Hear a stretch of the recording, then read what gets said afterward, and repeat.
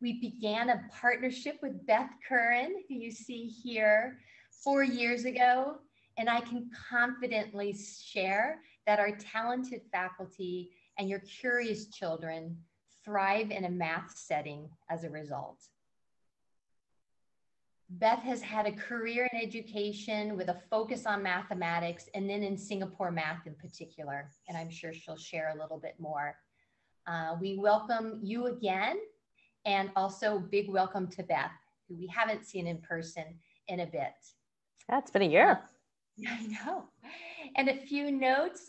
Um, we are recording, so we are recording the um, um, events. So then that way we can share with any um, parents who are um, unable to attend. I will be posting into the chat um, a link to a Google Doc um, from Beth, which is a handy visual reference for this evening. Um, a couple more things, uh, uh, friendly request to keep any mics off while the presentation is happening so we can all hear. Feel free to pose questions in the chat. Um, we will respond during the presentation or during Q&A, depending on the question. Um, and thank you for your patience, but we want to be nimble with your questions. Um, and with that, I think I've covered the housekeeping details. Um, it is, once again, it's so good to see you. And um, Beth, I will turn it over to you.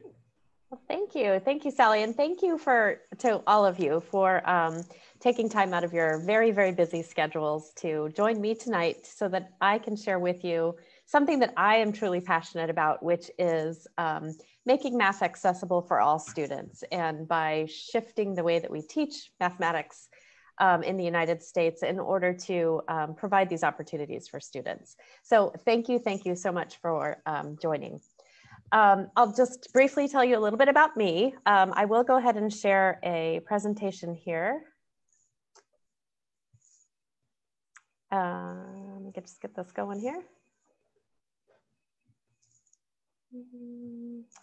So um, if you received that link to the document, you should have my information there.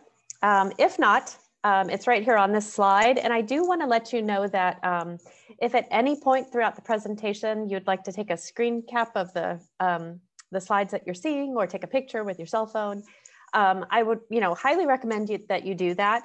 If I tend, if I go too fast and I flip ahead to a screen and you'd really like to see what I, um, the previous screen, just um, unmute yourself and let me, you know, let me know, just back up a bit because I want to take a picture of that. I'm happy to do that. So um, so, you know, if you want to take a screen cap, cap of this, so you have my email address, um, please go ahead and do that.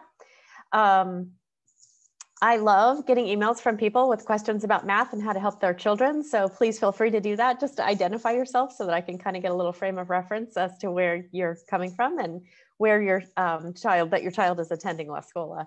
Um, and I do also ask that, um, you know, I'm happy to, to help you in any way to help you and support your child. Um, if, it's, if it's dealing with an issue that in the classroom, I'm just gonna ask that you please address that with the teacher first before you contact me.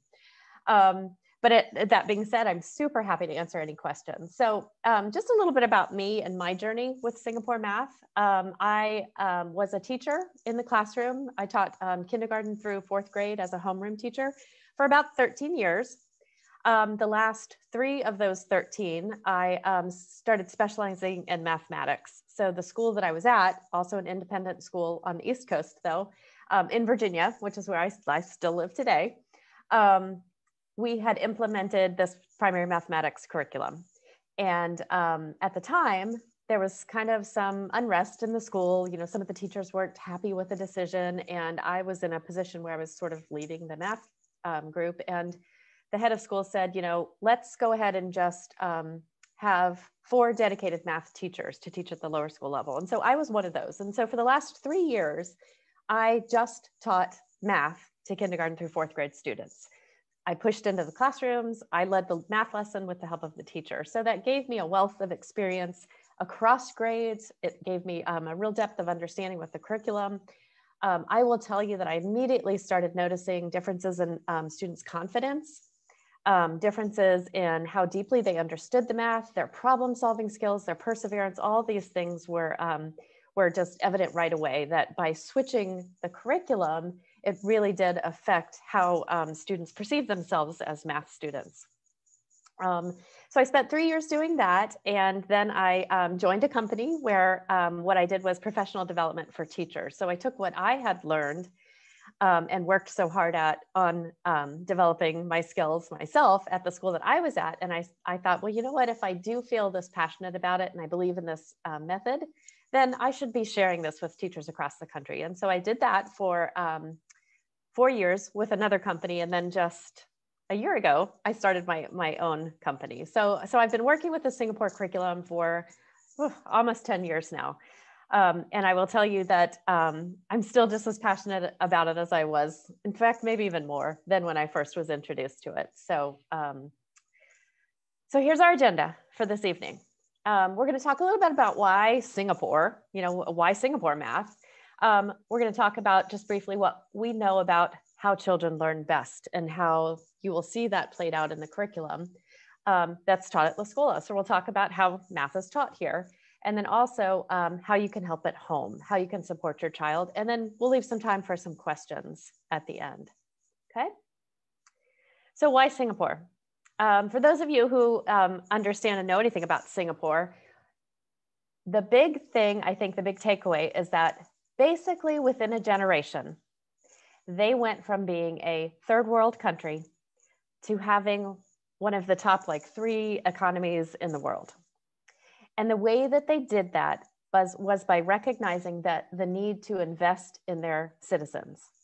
And the best way to invest in their citizens is to invest in the, the education of their citizens. And so, so right around um, the 1980s, they started developing um, national curriculum for reading and writing and also, also mathematics. Um, and then they really honed that, you know, they worked on that. They um, narrowed down the syllabus, so reduced items. They added a lot of problem solving into the syllabus. And then um, when they um, participated in international tests, in particular, the Trends in Math and Science study is the one I'm going to talk about, um, their students rose to the top. So by 1995, their students in fourth grade and eighth grade were scoring in the number one position um, for mathematics. So that was just 15 years of working with their curriculum. They were able to go from really far down below that mid range in this testing up to the number one position. And so that brought them to the world's attention. Now, in 1980, when they decided to start developing their own national curriculum, they also decided that they were going to teach in English. So, throughout Singapore, if you go into a Singapore school, the curriculum is the instruction is done in English. It's a it's Singapore is quite a melting pot, so lots of different cultures and languages are spoken. So students are always given the opportunity to practice their um, native language, but then also um, they, they learn in English. And so those materials from Singapore were really easy to bring over into the United States because translation wasn't necessary. The only thing that needed to be um, uh, tweaked a little bit were um, the currency and the measurement. So I spoke about this trends in math and science study. So this is um, kind of the international um, it's the, the it's the, the big like indicator of how countries are doing with their math education. Um, it's um, administered every four years. So 2019 was a testing year again, and those um, results were actually just released in December. And so these are the you know the newest um, results of the that most recent test. And so here you can see again. So this, this is I know there's a lot on this page, and it's a little bit busy, but I tried to highlight their um, Singapore scale score and the United States. So you can see where we rank among all these countries that participated in this. Um, and this is for fourth graders. There's also a test that's administered for eighth graders. Singapore's fourth graders and eighth graders, again, ranked in that number one position. And there's um, something interesting there. That top box says East Asian countries are the top achievers in mathematics by a substantial margin. So look at the difference between um, Japan, and then the Russian Federation, which is the next one down. And it's a 26 point difference. And if you look at all the others, they're all about one or two points away from each other. So there's a huge gap between how these Eastern Asian countries, um, they're how their students perform on these international tests and everyone else. Um, so why is that? So something that Hong Kong, Korea, China, Japan all have in common in their mathematics um, curriculum is a conceptual understanding um, and super rich in problem solving. And so again, the reason why we talk about Singapore math in the United States is because the translation wasn't necessary. But if you look at um, Japan math, which is now kind of coming into the United States and getting pretty popular because they have been translated, um, you'll see it, the, the approach is exactly the same. The methodologies are the same. Um, and so this is what makes them sort of stand out. Um, I will tell you that um, that scale score for the United States of 535 looks pretty good, but it's actually lower. It's about five points lower than the 2015 scale score. So we've kind of plateaued. Um, our, our students kind of reached a point and then we're just kind of stuck there. And so over the last, you know, probably 10 years, we haven't really made much progress in mathematics. Um, while other countries are kind of moving up and down a little bit. One thing that's consistent though is Singapore has been at the top and every year their students increase that that number one scale score. So their score went, you know, it that 625 is actually higher than it was in 2015. So every year they tend to do better and better and better. Um, so what's really interesting for me as a curriculum person is not just looking at the scale score, but looking at the types of questions that are on this um, test. And so they're divided up into four different categories, um, and they're called, they call them benchmarks. So there's low level, intermediate, high, and advanced. And so I just I have this document here that kind of describes these um, each type of the question here. So a low level question means that a student can add, subtract, multiply, and divide one and two digit whole numbers. They can solve simple word problems. So it's your basic computation. So if you look at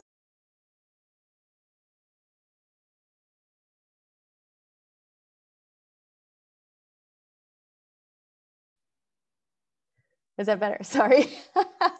so if you look at a, a, low level question here, you can see that, so these are um, percentages of students who can answer these types of questions. So a um, low level type of question again is your basic computation. So what we can see is that Singapore and the United States, we're, we're doing pretty well, right? A good number of our students can answer low level types of questions. Something that's interesting though to look at and note from this chart is that as the questions get harder, that gap between the number of students in the US who can answer these and then the percentage of students in, the, in Singapore who can answer these types of questions, the gap gets wider and wider. So an intermediate type of question, this means that they can compute three and four digit whole numbers in a variety of situations, and they have some understanding of decimals and fractions. So then at the high um, level questions, they can apply conceptual understanding of whole numbers to solve two-step word problems. They show understanding of the number line, multiples, factors, and rounding numbers and operations with fractions and decimals. And then the advanced level types of questions is now students are involved in solving complex problems, complex situations that require multiple steps um, involving whole numbers, and they're able to show their, their understanding of fractions and decimals. So the big difference between like a high level type of question and advanced is that the advanced types of questions tend to be unfamiliar. So these are like real world problems because the problems that we face out in the, in the work field are not um, scripted. They're they're always unusual and always different. And so, so uh, uh, what our goal is is to get students to the point where they can have such a deep understanding of the mathematics that even when they're posed with a problem that's outside of something they've ever seen before, they have the tools to be able to solve that. And so, so that's what we're, we're um, striving toward is getting our students to that point. And so, so just looking at this, what we can say just from a curriculum standpoint is that traditional mathematics education in the United States does a really good job of teaching students to calculate, but not to solve problems. And again, that's what mathematics is all about. It's really about solving problems. Okay, so let's take a look at a few um, examples of these types of questions. So a low level type of question um, three plus eight equals blank plus six. Okay, multiple choice problem. Um, So what we want students to understand is that that equal sign has value, that whatever's on one side is the other. What a lot of students, a mistake they might make is three plus eight equals, and the answer goes in that next space. So they might put 11 plus six, not understanding the, the power of that equal sign. But what we want is for students to see that if 11's on one side, what do we need to make, what do we need to add to six to get 11 on the other side of that equal sign? Um, 85% of students in Singapore on the 2011 TIMSS. Now I know that this was quite a while ago, but um, they're they're kind of um, tight about releasing questions and percentages.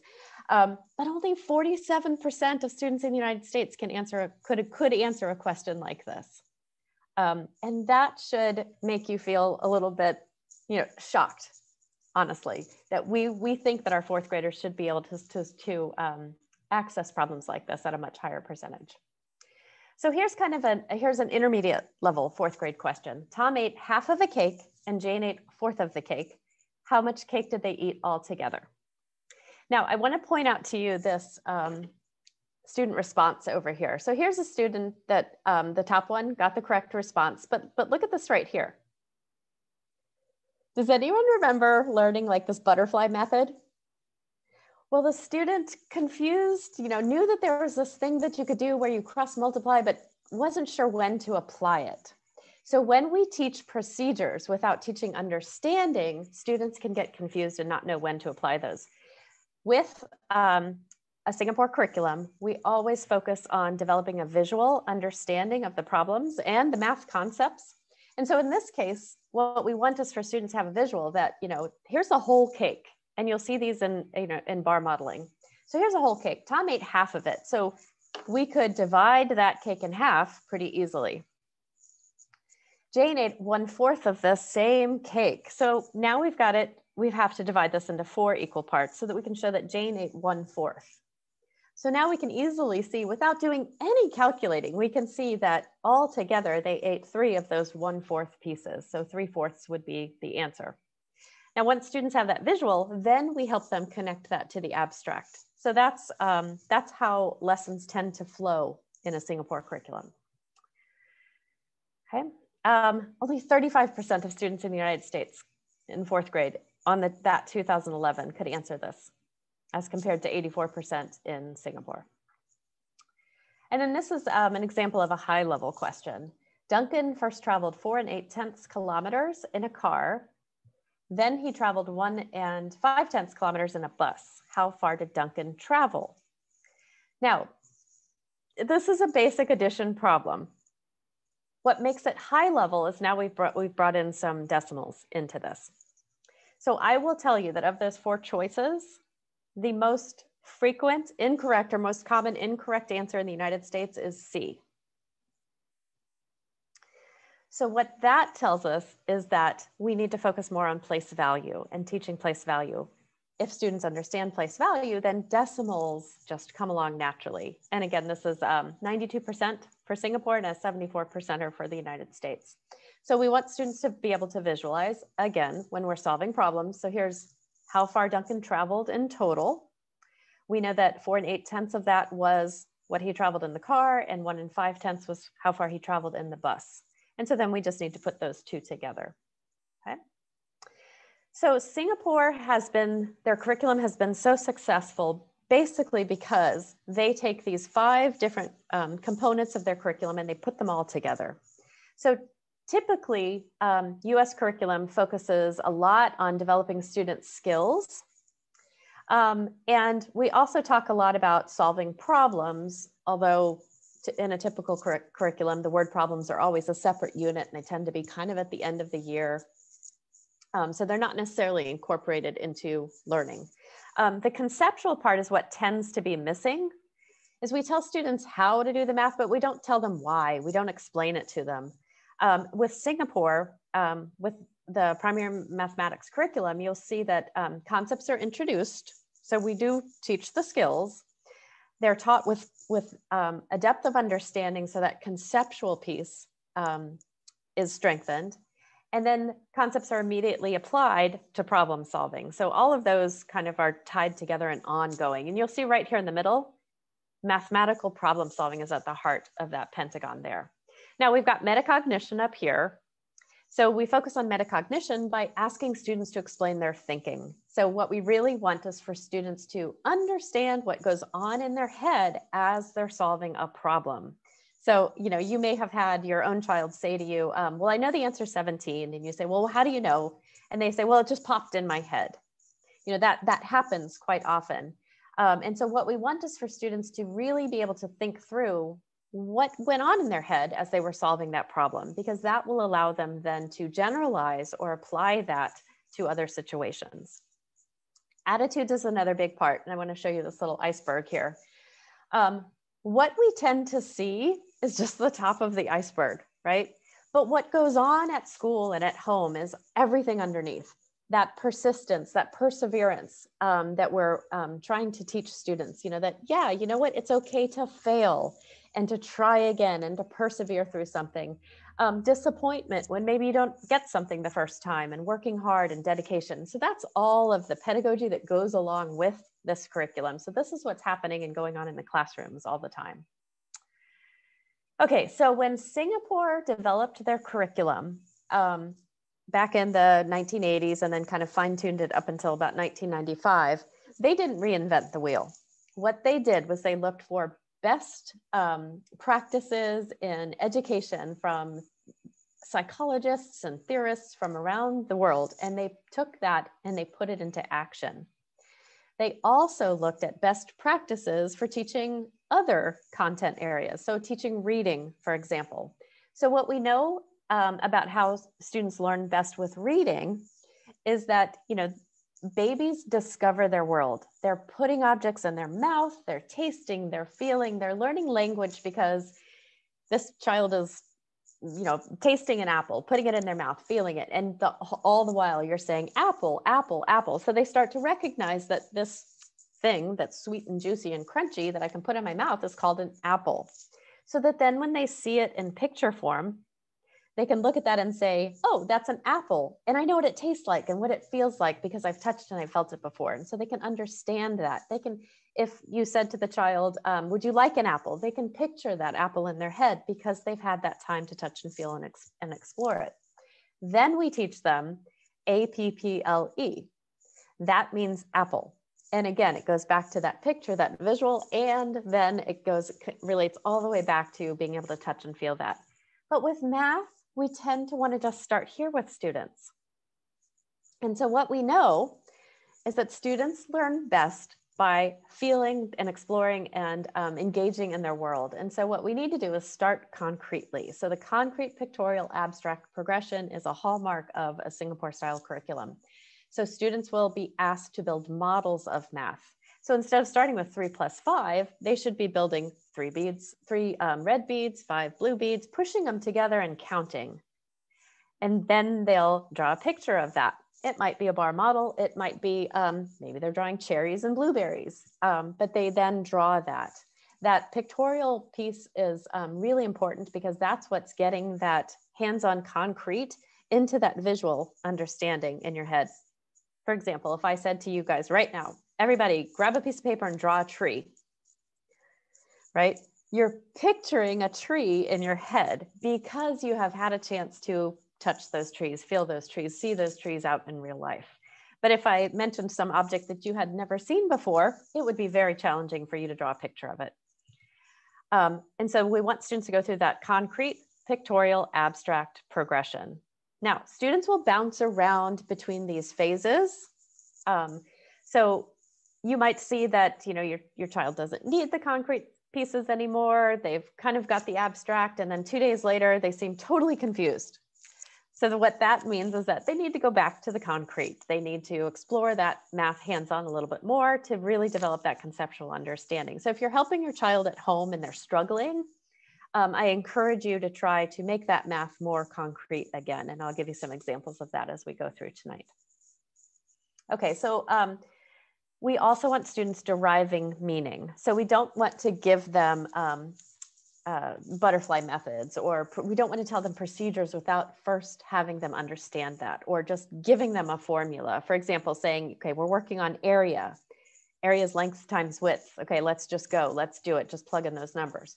We want them to derive that formula on their own because then it's going to have meaning to them. They'll have that visual, they'll have that deeper understanding. So we're going to start concretely. We'll give students um, square tiles. We'll have them build a rectangle with those square tiles.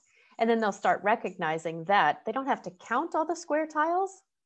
They can see that it kind of looks like a multiplication array. So we could just multiply four times five. And I know there's 20 there. I don't have to count them every time. And so then we go to a more uh, abstract picture.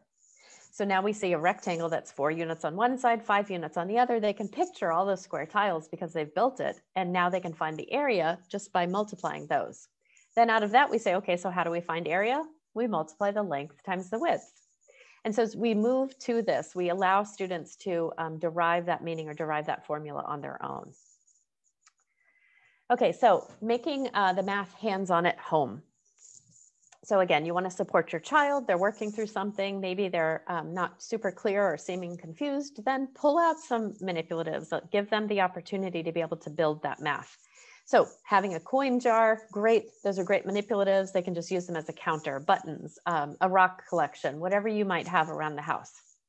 Um, for place value, Skittles, M&Ms, anything that's colored, um, Froot Loops would be great.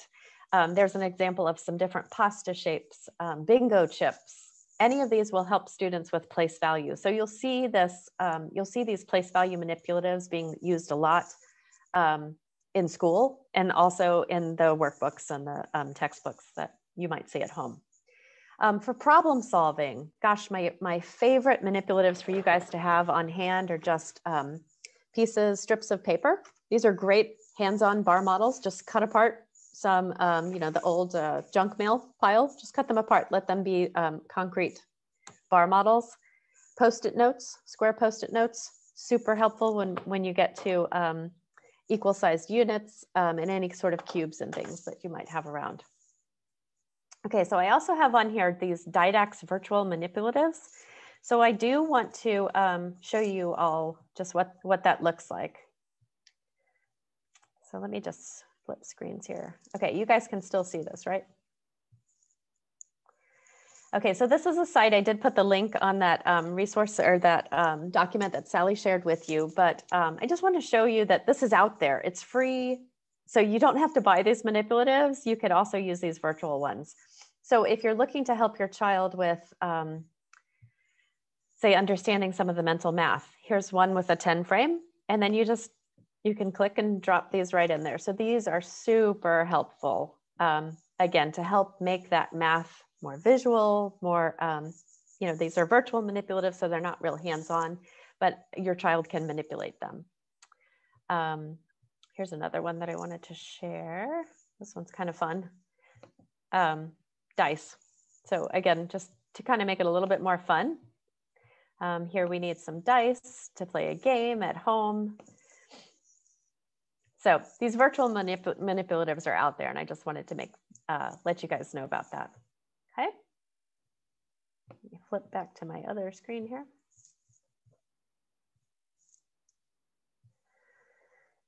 Okay, so having manipulatives are going, going to be helpful to support your um, child at home. Um, I do want to talk a little bit about Singapore's sequence because it's um, this again I think is one of the pillars of success of their curriculum is that it's very coherent. So your child will never be asked to apply some math that they haven't already mastered. So I, will use this um, multiplication sequence as a good example. So in first grade, multiplication is introduced as equal groups. So um, it, for this example here, it's always pictorial or students are building. Um, and so here you can see, you know, we might say there's three trains on one train track, how many trains on four train tracks? Right? So they're building this, exploring that idea of multiplying equal groups. Then in second grade, they're introduced to strategies for multiplying by two, three, four, five, and 10. So here we can see that, you know, if students understand two times three and they can visualize that and see that, then four times three is just two groups of two times three. So we're helping them make connections between those simple facts, the twos, the fives, the tens, and help them to use those facts to, to um, derive the threes and the fours. Then in third grade, they're introduced to double digit by single digit multiplication. Okay, so they're using those facts that they've mastered in second grade in order to um, uh, take in and understand this traditional algorithm. So yes, traditional algorithms are introduced, um, but it's um, very sequential and well thought out as to the timing of it. And then in fourth grade, double digit by um, multiplying by a 10. Okay, so here we can see the connection again to place value. If students can multiply 34 times two that they learned in um, third grade, then 34 times 20 is the same as 34 times two tens. So they're using that place value to help them make sense of these calculations as we get into now double digit numbers. And then fifth grade, it's multi-digit by multi-digit multiplication. But everything builds. So multiplication is taught from first grade all the way up through fifth and sixth grade, but it, um, the concepts build on themselves year by year. Um, number sense is a huge part of the curriculum. Um, if you haven't seen one yet, you will be exposed to a number bond at some point in the curriculum. Your child will start drawing these bubbles and you'll think, oh, what do I do with all these bubbles? It's a number bond. Um, basically, it's a part, part, whole representation. So what we want students to understand is that numbers can be composed of parts and numbers can be decomposed into parts. So um, we use this number bond pretty consistently throughout the grades so that students can break apart numbers in different ways, compose numbers in different ways so that they can apply that to deepening their number sense and exploring mental math strategies. So um, here's an example of a number bond where addition is sort of playing out. So we've got four as a part and six as a part. We put those two parts together to get that whole of 10. Um, we can also use a number bond to show subtraction. So if we know that six and four together make 10, if we have a whole of 10 and one of the parts of four, we can subtract to find the other part of six. Or think four plus what is 10. So it works in both ways. So um, this is one of the things that I think drives parents crazy. It drives a lot of teachers crazy too, is that on the in the homework, all the problems are written horizontally. And I hear from parents often, they'll say, there's no room for me to write those numbers stacked on top of each other so that we can solve it. So we start here.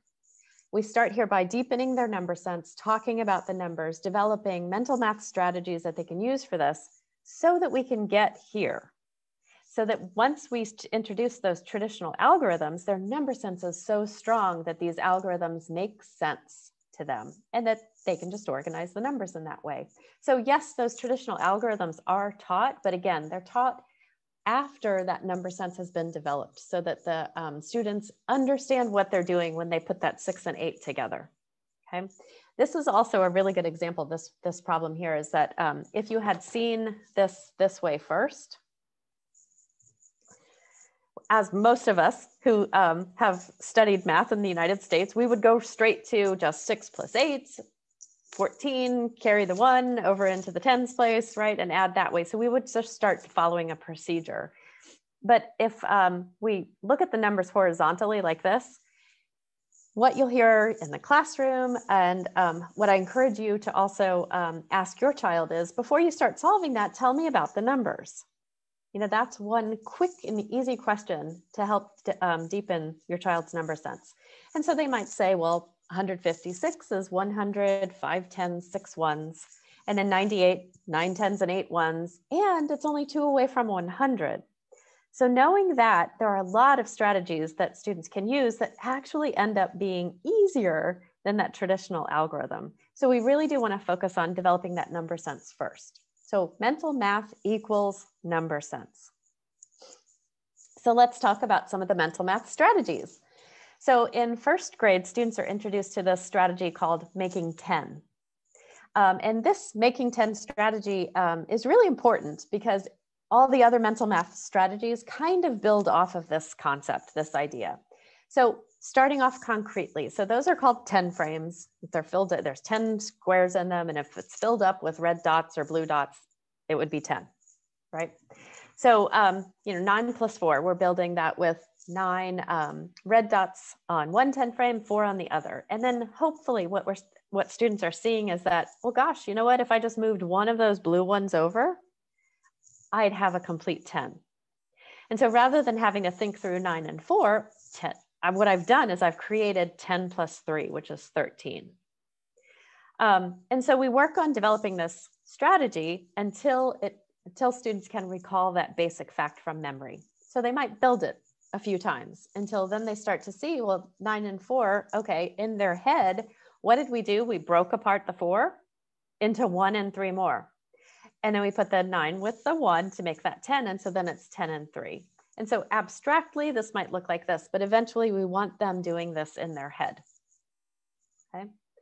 Because adding an even 10 is so much easier than adding 19 or 9 or 8 or any of those other numbers.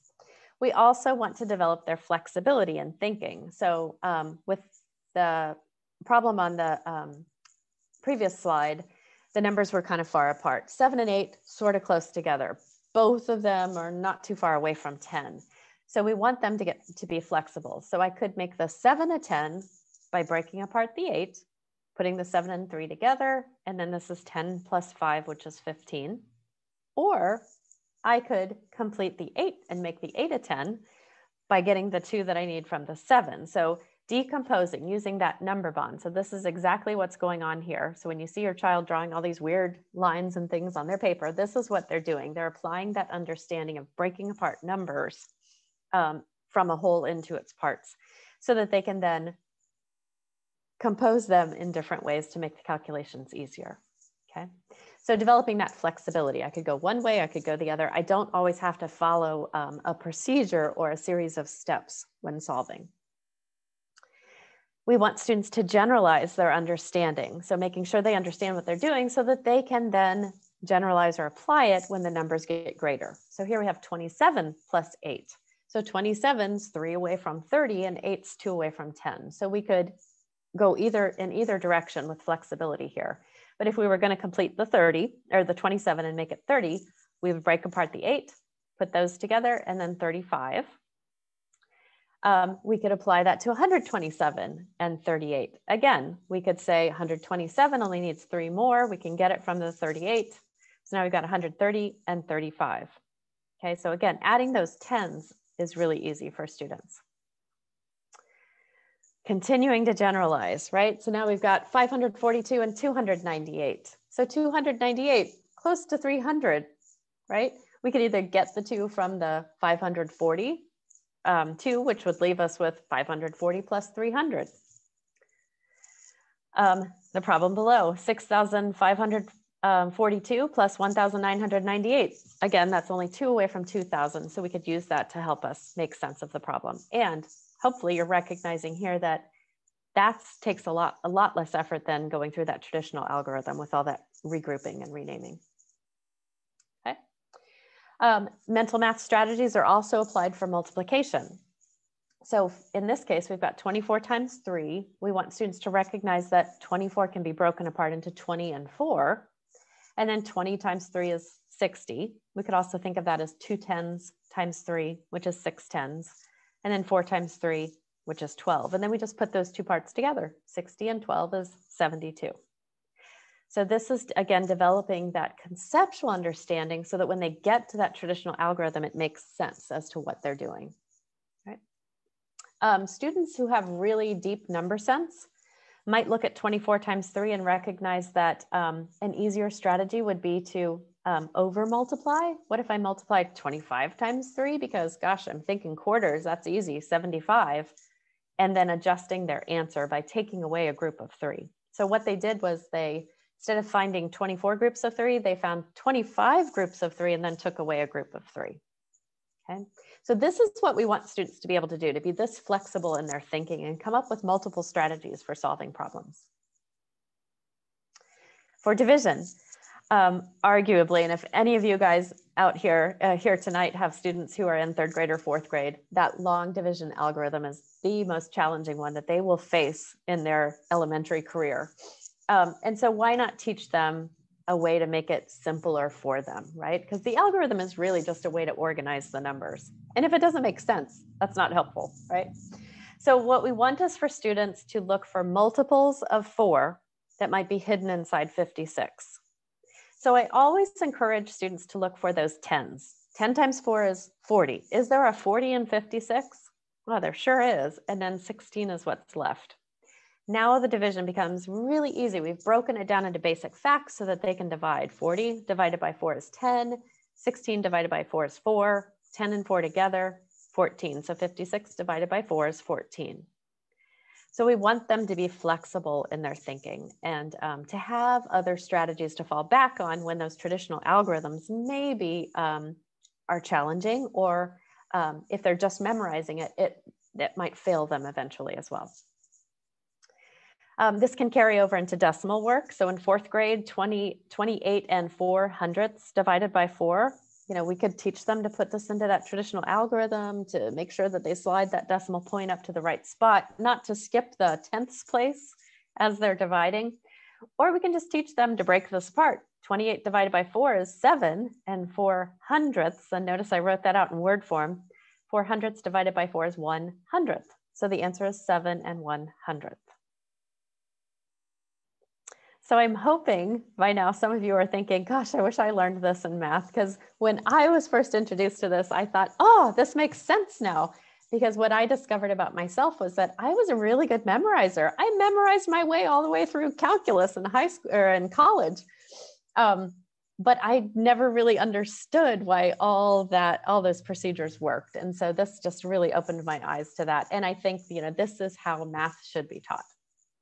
Okay, so this is a quote that I just absolutely love. It's from um, doc, Dr. Yip von. He was one of the um, original authors of that um, that primary mathematics curriculum that brought Singapore to that to the world's attention.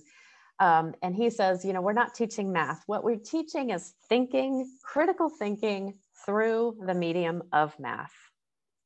So when we think of math in the United States, we think calculating, and it's so much more than that.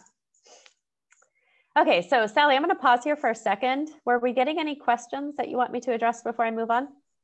Um, we um, have a couple. There's one question, um, Ludwig. I, I um, was curious about um, if Singapore Maths like um, is so successful. Why don't more schools adopt it? That's a good question. you know, I will tell you that just what I have seen throughout the United States, that um, a lot of charter schools and independent schools have adopted a Singapore style curriculum because they don't have to go through the red tape that a school district does. And that's the sad truth of it. so, why doesn't a big school district adopt it? Because they have to go through all these um, adopt so you know they have to put groups together they have to you know evaluate the different curriculum and um, there's just a lot of red tape involved. Yeah. And i'll just jump in with respect to um, la scuola um, being an inquiry school and we have our ib frameworks we have our transdisciplinary themes and we develop these central ideas. We really we spent four years what would be a math curriculum that is open-ended that is inquiry and that can pair or run run with our our transdisciplinary themes. Often a math program may have inquiries built in because schools are looking for a pre-made package of an inquiry that's built in our students have an inquiry that's across different subject areas. And so for that reason la scuola chose this inquiry approach that could partner with uh, the, the big human commonalities of our curriculum framework. Yeah. The other thing that I would add to that too is, you know, there's the um, the red tape, but then also um, it's hard to teach. It's hard to teach if you didn't learn math this way. So for again, big school districts, um, again, sadly, they might not want to invest the money in training their teachers to be able to teach a curriculum like this. Yeah. Anything else, Sally, before we move on?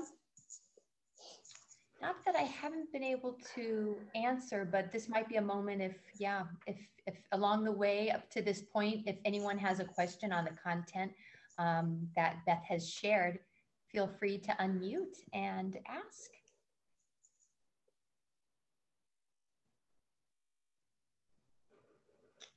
All right. We're gripped. We're so, gripped. Good, good. Okay, so we're going to move into problem solving. Um, bar modeling is something that I think sets um, a Singapore style curriculum apart from other curricula out there. And it's, it's new, it's unfamiliar. Um, when your child brings home problems and says, well, I have to draw a bar for this, or, or I have to draw a bar model, um, it's going to be frustrating. And so what I want to do is kind of walk you through this so that you have some understanding of it so that you can then wrap your head around why we're asking your child to do this and give you some tips on how you can support them. So why bar modeling? Um, it's a great visual model for um, problem solving, for fractions, for ratio, for percentage problems, um, all of those challenging higher level concepts. Um, it helps students come up with a plan. It helps them to determine what calculation they need to do to solve the problem. Um, it starts students off on really thinking and visualizing algebra, which is really truly um, the goal of lower school or elementary mathematics is to prepare students for algebra. And so how great is it for students to be able to go through a program and then to have a visual in their head so that when they get to algebra, it's not just this other crazy way of writing um, equations and solving equations and again, just following procedures, but it actually makes sense. Um, and this is one of the big ones is it provides access to challenging problems. So it provides access to rigor in the curriculum for all students. Okay, so here's your um, bar modeling boot camp. There's basically only two types of bar models. There are part whole bar models. So think that number bond. We've got parts that we put together to make the whole. Um, and there's comparison. And so we'll get to that in a second. So um, part whole is when you are even give, either given the whole and asked to find some parts, or you're given the parts and asked to find the whole. Okay. So it's typically side by side. So you'll see like a part and a part, we put them together to make the whole. So these are usually represented side by side. Okay, so Sally, you're in the story tonight. um, so here's, here's um, how you could help your child walk through um, problem solving with bar modeling. Um, Sally bought some chocolates. So I always encourage students to make sure that they have a good visual in their head. So can you see the chocolates that Sally bought? These are questions you might ask your child. She ate half of them and then gave seven to her best friend, who was me. No. she had five chocolates left. What we're wondering is how many chocolates did Sally buy? So sometimes um, in, to help your child get a good visual in their head, it, it might be helpful to read the problem without the numbers in it. And I know that sounds completely ridiculous, but it helps them to just focus on the situation because the situation is the problem to solve. And then we can put any numbers in here. If you think about that, I could say, in this case, I could say she had 27 chocolates left and she gave four to her friend. It, the numbers don't matter as much as being able to visualize the situation. Okay, so let's talk about concrete materials again. So I mentioned these paper strips earlier. These are my favorite bar model manipulative because they don't cost anything. Um, so Sally bought some chocolates. So this bar is going to represent all the chocolates Sally bought. She ate half of them. Okay, so that's easy, right? We could fold this in half to represent, and I'm just gonna mark this so you guys can see it clearly. Right? So she ate half. And the great thing about using paper strips like this at home, um, first it's fun, makes it a little more fun than drawing them, but um, you can write right on top of them. So I could write here, um, eight. Okay. Um, now, what we know is that she then gave seven chocolates to her friend and she had five left. So if she ate these, that can't be the seven and the five. The seven and the five has to be over here. So then we can mark that off. And you can write labels like gave and the five left. So now we can clearly see that if this half is seven plus five or 12, then two groups of 12 would be 24 chocolates. So Sally bought 24 chocolates, okay? Once students can um, build it with a concrete model, then what we want them to start doing is drawing it. Now, something I wanna tell you that I, is super powerful if your child says, My teacher says I have to draw a bar and I'm so frustrated, I don't know what to do, what I always say is just draw a rectangle on your paper. And I'll say that to students in the classroom, just draw something, draw a rectangle on the paper. Once they get something down on the paper, it's gotten them over that hump. And so then all you have to do is say, okay, well, what do you want that, that bar to be? Do you want it to be all the chocolates? Do you want it to be the half that she ate? It doesn't matter at that point. If it's the half, we just add another half. If that's all the chocolates, then we label it as such and then we start marking it up. So just getting them to put something on the paper and then relate it back to the story. What do we want that to represent? Okay, so in this case, I'm gonna have it represent all the chocolates. I know she ate half, so we're gonna draw that mark that. She gave seven away and she had five left. And what we're looking for is the total. So I do encourage students to label their bar models as best as possible because they can use this to help them determine the um, operation or the, the equation they need to use to solve it. They can also use it to check their answer for reasonableness. So once they get the answer, if they imagine that 24 is up here on top, does that make sense? Yeah, looking at the numbers, it does. If I came up with a number that was less than seven, then a red flag should go off in my head because it's not possible because I've got seven. Seven is one of the parts there. So so we can use the bar model to also help us check our answers for reasonableness. And then there's the comparison models. So this, these are the types of problems that have more than, less than, fewer, greater, taller, shorter, anytime we're comparing two or more objects. So the difference between, uh, so your part, part whole goes this way, we're putting them together. When we're comparing, we're stacking them on top of each other, okay? So um, it's when we're comparing two or more quantities. And something that's important is that, you know, this is the difference right here up to this point. It's exactly the same. And so that's a big concept for kids is that whatever's off, on that um, left-hand side, those two pieces have the same exact value. The difference is how much more, how much less, how much taller, how much shorter. Okay. So here's a um, multiplication comparison problem. Julia has three times as much money as Alex. They have $48 altogether. How much money does Julia have? So this is where post-it notes are super fun to work with because we're talking about equal sized units. When we're multiplying, it's, a, it's we're multiplying equal groups. So equal sized units, these would be great to use. Um, I'll go ahead and use these linking cubes. Um, we tend to have a lot of these in the classroom. Um, you may have something like this at home too. Okay, so Julia has three times as much as Alex. So if I built this like this, then you know what I would ask is, does that look like three times as much? Yeah, because right here it's one time, right? Two times as much, three times as much. So this looks like three times as much. Then what we would do is we would label this. We could label it, we could put this on a piece of paper, lay it down, and then start labeling. Again, with those post-it notes, just like with the paper strips, you can write right on top of them, which is really handy. Okay, so we've got that visual. Julia has three, three times as much money as Alex. What we know is they have 48 all together. So this bracket on the side represents your all together. It's everything that's within that bracket. It's the sum of everything within that bracket. What we're wondering is how much money does Julia have? So we'll put the question mark up there. So now what we can see is that we have four equal sized units. And the thing with bar modeling is the size of the unit, um, it matters because um, the units have size, they have the same value. So if they are drawn with the same size, then they have the same value. So here we have four units that are equal sized. So then each of those units has the same value. So then we can say that um, four units is 48. So then one unit is 48 divided by four or 12. Okay. A lot of students will stop there and say 12 is the answer. But this is where having that question mark is going to come in handy because if you look back and you see where the question mark is, well, wait a second. No, the 12 is actually what Alex um, had. What we're wondering though is what Julia had. So then we have to do one more step. Three units is 12 times three or 36. Okay.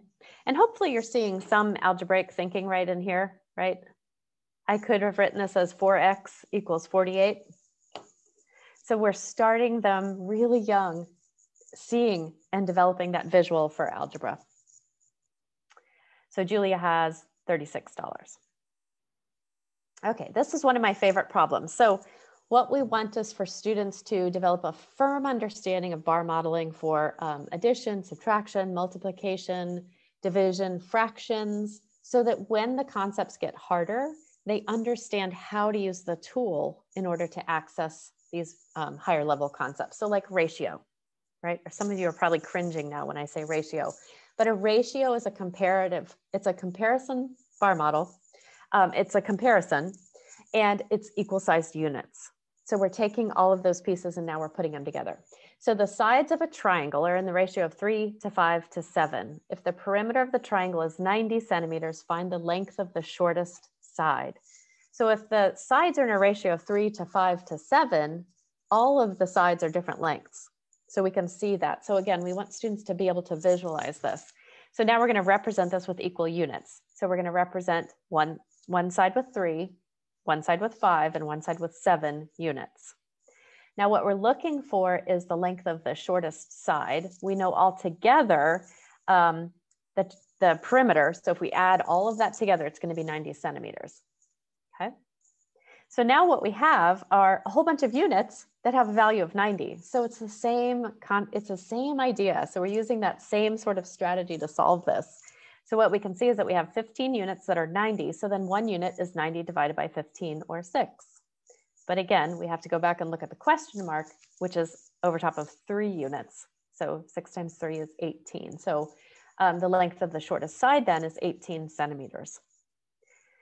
So we want students to get to the point where they can just solve problems like this or by using abstract um, calculations. But again, remember that um, bar modeling is a tool to give access to these higher level problems for students. So if a student forgets, you know, what ratio means, they could draw it out if they have that visual. And that's, that's what we want for our, our students, okay?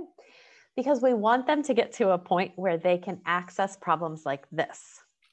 Okay, I have had um, parents before say that there are problems like this on um, the LSATs that they had to take to get into law school. So um, this is a challenging problem, but I would I would say that a end of your third grader, beginning of your fourth grader who has really got a firm grasp of using that bar modeling tool could draw a picture of this easily and solve it. Okay. Madison started saving some money on Monday. On each day from Tuesday to Friday, she saved $2 more than the amount she saved the day before. She saved a total of $60 from Monday to Friday. We're wondering how much she saved on Monday. Okay. So we know that she saved some money from Monday to Friday, right? But we don't know how much that is. So we can start by just showing these, um, by showing Monday with an equal sized unit. Okay, let me back up a bit. Now, what we know is that each day from Tuesday to Friday, she saved the same as she had the day before, plus an extra $2. So on Tuesday, she saved the same as she did on Monday, plus an extra $2. Now, at this point, I don't know the values of those units, but that's not the important part. The important part is um, can I visualize this so that I can come up with the equations to solve it? On Wednesday, same as on Tuesday, plus $2. Notice my $2 units are the same size because they're always $2. Thursday, same as on Wednesday, plus $2, and Friday, same as on Thursday, plus $2. And all of that has a value of $60. So now we know that those little blue boxes have a value of two, and I can see that there are 10 of those. So that would be $2 times 10, um, or a total of $20, right? So if we take that out of our problem, so we're just going to say 60 minus 20 is 40. We're removing it from our bar model. Now we have four equal sized units that, or sorry, five equal sized units that have a value of 40. So then we can divide 40 by five to get $8 and conclude that she saved $8 on Monday. Okay. So this is where we want our students to be able to go, to get to to reach this point where they um, can use this tool to help them solve more challenging, maybe unfamiliar problems. Okay, any questions for bar modeling? List.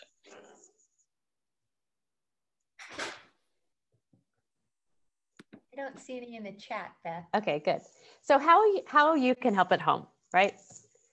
Be excited about math math might not have been your favorite subject in school and it might have even caused you a whole lot of anxiety and maybe even now today saying math to you or letting you know that you you might need to help your child with math is making you feel anxious. What I would um, love for you to do is just try to put that aside and be excited about math, excited about how your child is learning math and how it might be different and, and engage in that learning process along with them. So be super supportive. Um, it is so absolutely tempting when your child comes home and is frustrated and doesn't understand the Singapore method for solving something or working through something.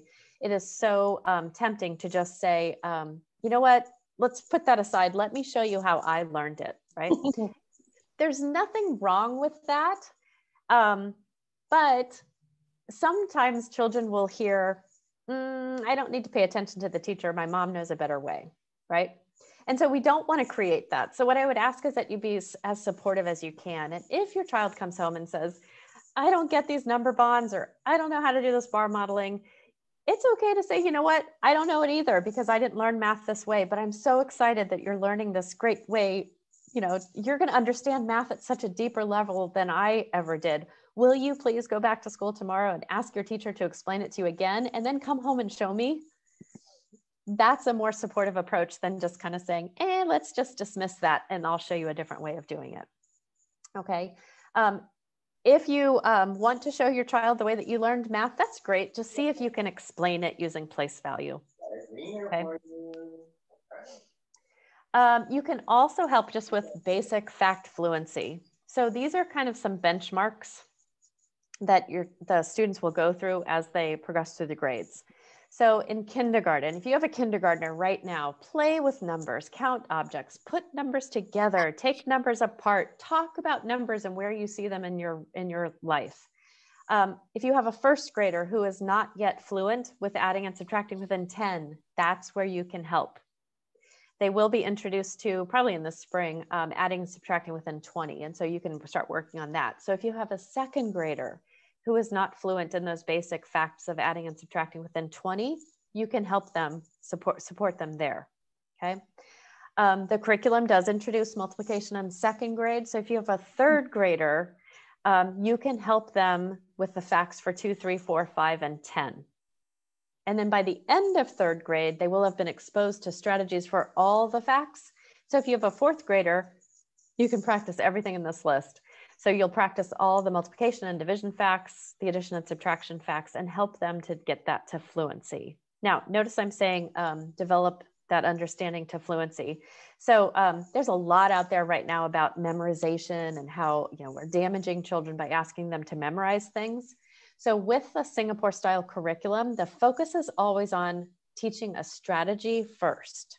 And then we allow students to apply the strategy until they can recall the fact from memory. Some people maybe, you know, just struggle with memorization and they might not ever um, be able to recall them from memory, but at least then they have the strategy to fall back on. So that's kind of the Singapore um, philosophy with um, basic facts and memorization and everything.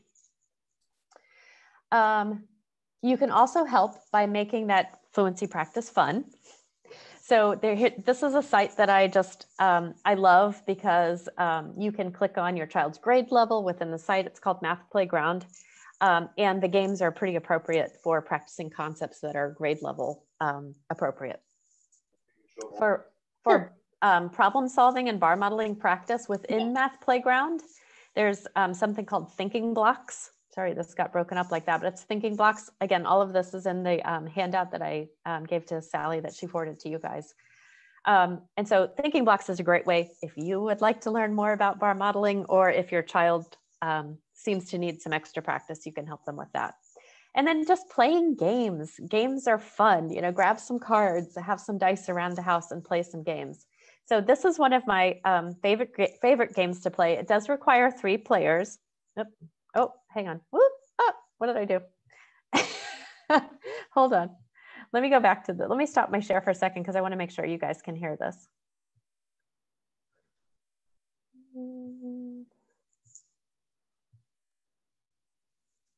Technology, right? Uh, here we are.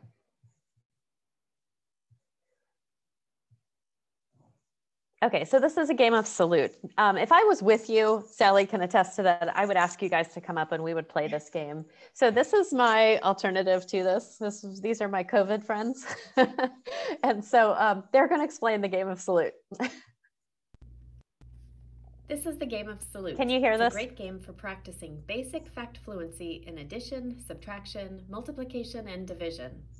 To play the game of salute, the materials you need are a deck of cards.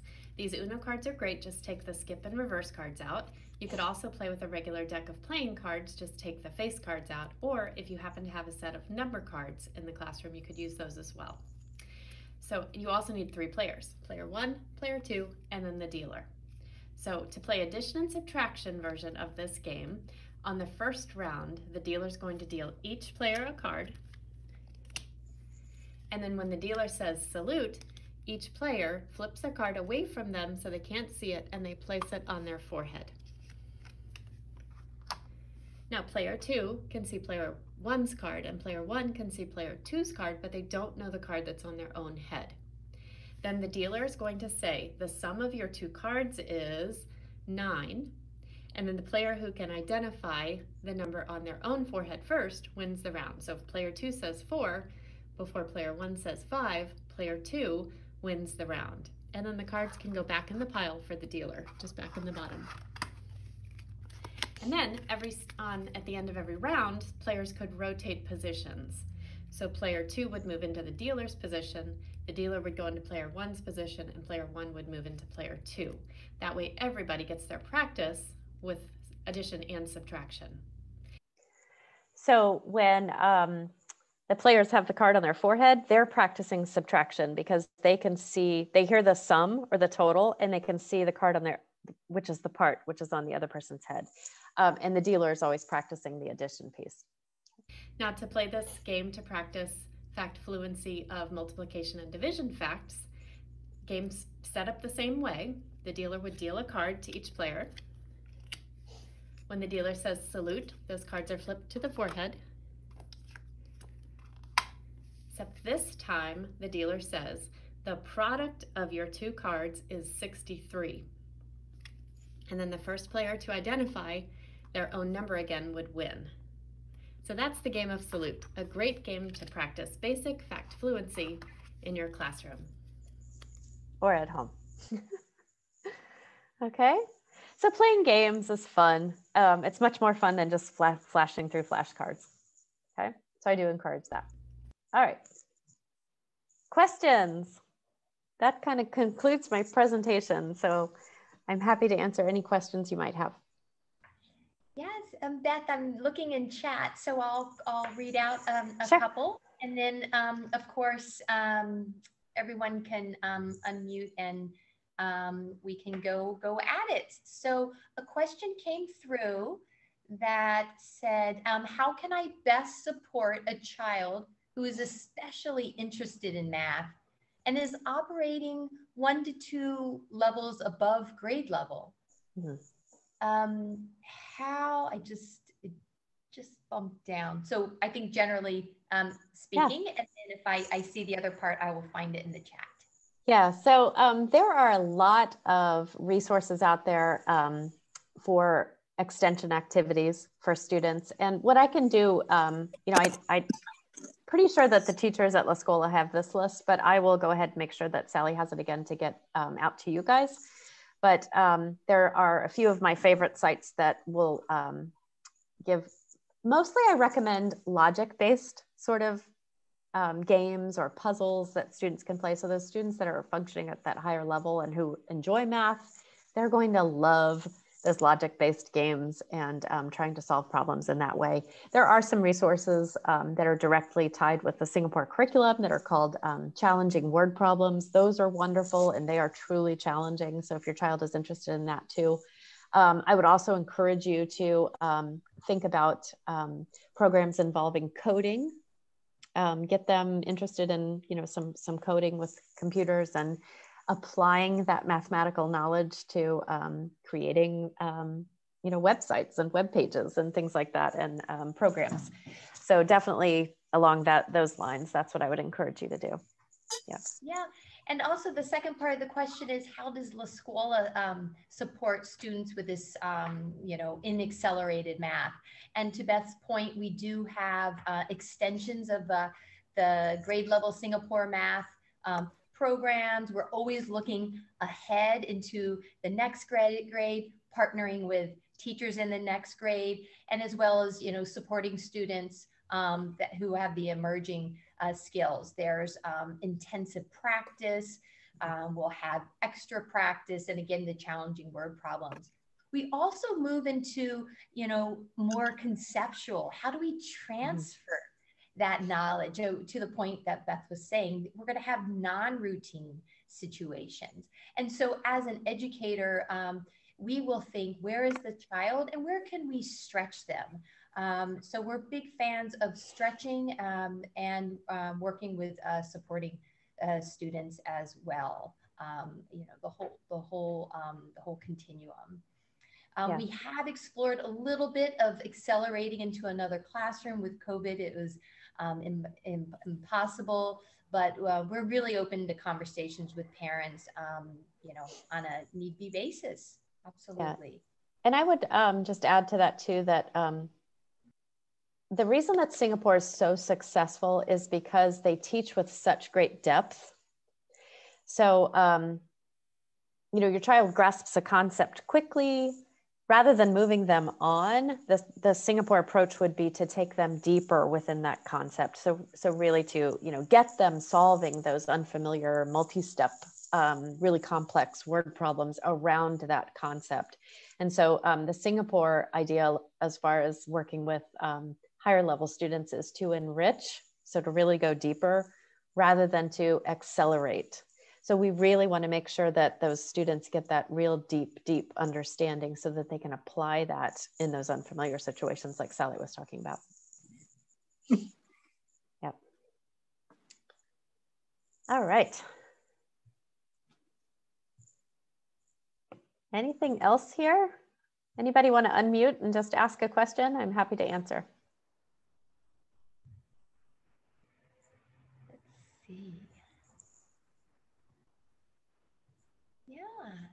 See, there's a question here about, let's see, this chat box is hard to. Sally, you having a problem with this too? The little, the little cursor moves around an awful lot. Um, there was a question about.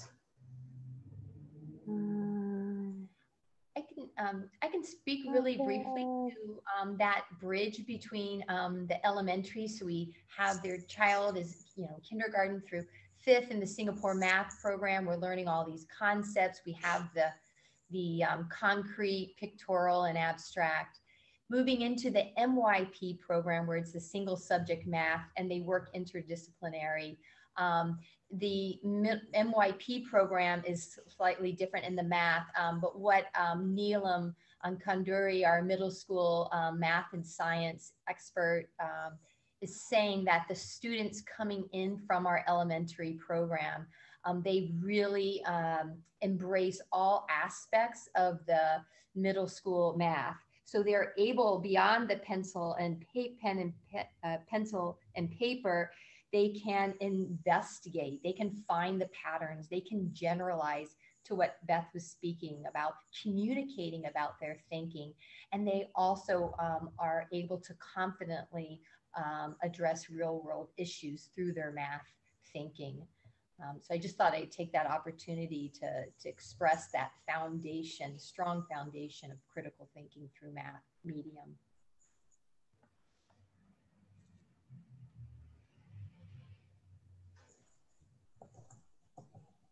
Okay.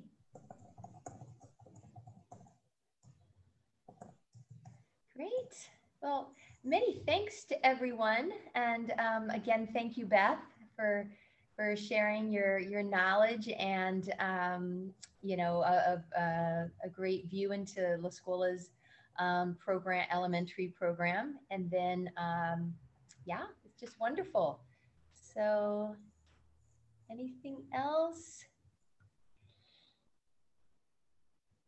Amanda, did you want to ask about um, long division? Any? I know that's a important topic. Beth, we are just, um, a question came up um, around long division, and you kind of touched on it um, um, uh, briefly that there is that algorithm that we eventually, and it's one of the hardest um, algorithms that, you know, in the elementary that will, a student will uh, take on. And you wanted to emphasize all the knowledge that um, and reasoning that happens before tackling one of those, the long division. Um, did you want to speak a little bit more around? You have anything else to share about that long division? Well, all the traditional algorithms, um, something to keep in mind is that the way that we learned them here in the United States is, is specific to the United States. It's just a way of organizing the numbers. So those algorithms were created to help uh, mathematicians before we had calculators, believe it or not. so um, it was to help them to be able to calculate these big numbers before we had calculators. Um, and so it's just a way of organizing numbers. So really what's important is not the steps in an algorithm, but the understanding that goes with it. So, and, and again, that's what the emphasis is going to be in the classroom is more on the number sense around those operations rather than the procedure, you know, following steps in a procedure. So. Alrighty. Well, with that, I'd love to um, wish everyone a wonderful rest of your evening. Again, thank you for taking the time to, for joining us. To join Yes, us. thank you so much. I'll stick around for a bit if anyone has an individual question they want to ask.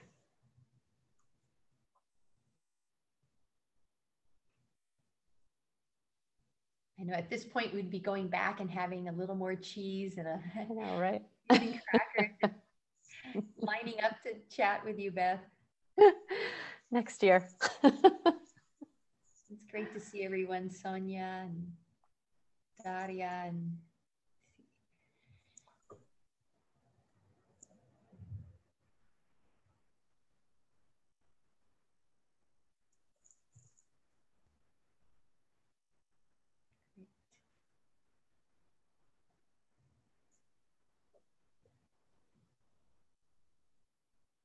All right. Anyone still hanging around for a question or if not, you um, feel free to just check out and we'll hang, we'll hang out here for a few more minutes.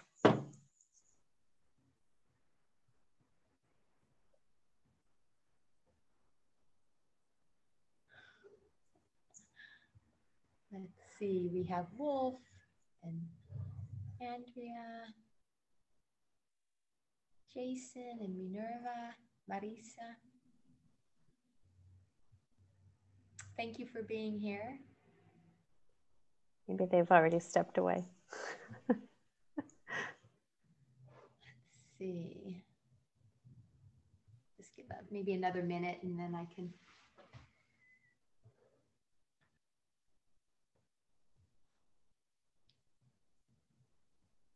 Hi, Wolf. Hi, Andrea. There we go. Yeah, that's a little easier. I can end the recording.